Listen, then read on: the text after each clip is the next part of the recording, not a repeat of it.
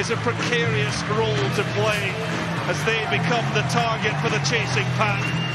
Sam Johnson became the latest Warriors centurion. Search out that elusive first win of the campaign. We are underway and Ball's inside. Palmer, Ruggeri, Stay on. Cook now delivers the pass, look in, and Eden. It now comes to Trulla. Warriors defence desperately scrambling, covering the ground, closing down any of the spaces. First It's back in, off another penalty for Zebre Parma, quickly taken by Chris Cook, and what a start Back in, off feet. from the visitors. Still driving forward. It's going to be difficult to defend this. Advantage is being played. Driving on just short and now having scored.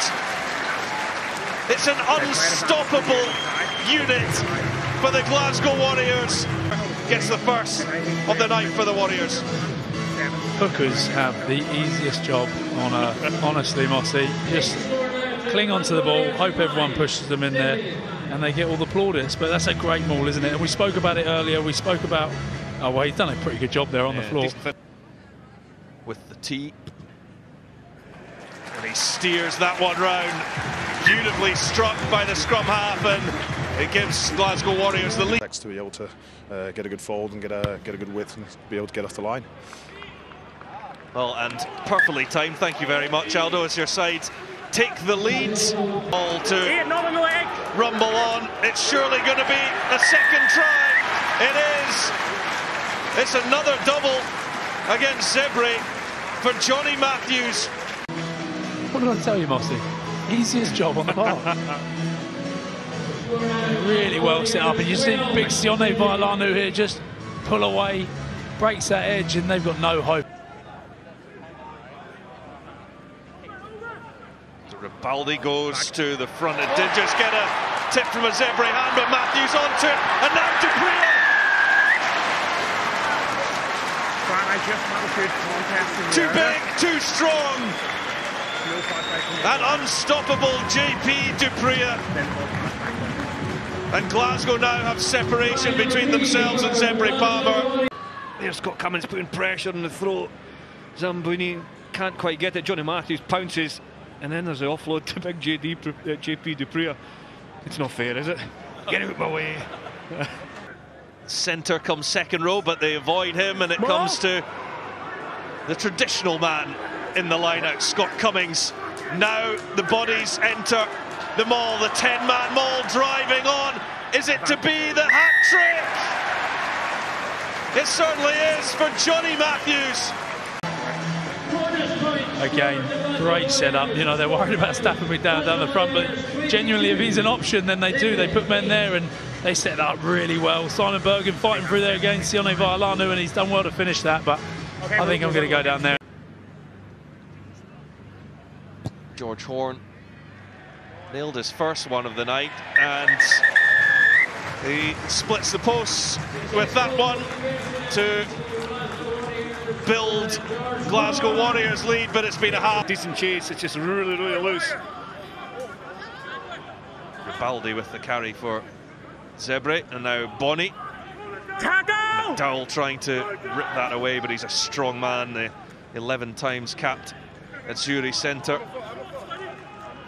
Stay on four. Step four, step, step. Use Glasgow it! An opportunity from this Six is legal. Cummings with the Onside. Charge down on Yelich, and here goes George Horn. Couldn't quite fend off Jesse, but he can get the pass away to the captain. It's been a night for the forwards, but now Stafford McDowell gets the backs in on the act. Stretching away. The skipper links up with his scrum half. And Glasgow Warriors get the first try in the second half. kick didn't come, more pressure from Scott Cummings, and then just look at the reaction of the Glasgow Warriors players in comparison to the Zebra players. Brilliant offload initially from Rory Darge, and this is even better from George Horn under real pressure. Pops it up to Stafford McDowell, the support player coming through. That phase of play, it was erratic, it was messy, but Glasgow Warriors looked so much fitter and so much quicker to react and got the try. Yeah, just before that, Mossy, you were saying how loose it was getting, and it was, and you need to find structure somehow, and the only way that Zebre Parma, you know, with the flight in the legs still, and 50 minutes gone, you start to see some tired bodies, and that's where Glasgow can definitely capitalise. Bind. You can see there, frustrated George Horn that he wasn't able Sit. to deliver the pass out as the play was stopped now. Can the Warriors get Advantage. forward momentum? They have the penalty advantage. The backs will have a go. It's Weir. It is a run-in. It's Josh McKay. It's another try for the Glasgow Warriors. Just tight head trapped on the pressure. The yeah. Yeah. with a simple process to finish off the move. That's six tries. And it's a night that just keeps getting better and better for the Glasgow Warriors. George Horn lining up another conversion. It's another fine strike from the scrum half. It's now a 30 point lead for the Glasgow Warriors and delighted to say we can du Preez. Brown to Johnson, just has to fend off the tackler who was Manfredi. Oh, here's Vailanu. Gap opens up for him. He's got a man in his shoulder. And Thomas Gordon goes under the post in front of the East stands. Warriors move on to 43 points with a conversion to come. The third try of the second half. Look at this second plays, Mossy. I mean, they hit him up here, but look how wide Sione Vailanu is. So hard to defend tight, let alone wide when there's bigger spaces. He managed to get into that gap and then just a great support line by Tom. But Brilliant pass. Brilliant pass from Jamie Dobie, initially going forward, and then to see that, and, and for Vailanu, one or two players close to where you're going to pass it, but to have the vision to see outside that, to almost the third player who's wide. Great timing, great pass, good try. Lanu leaves it for Dobie.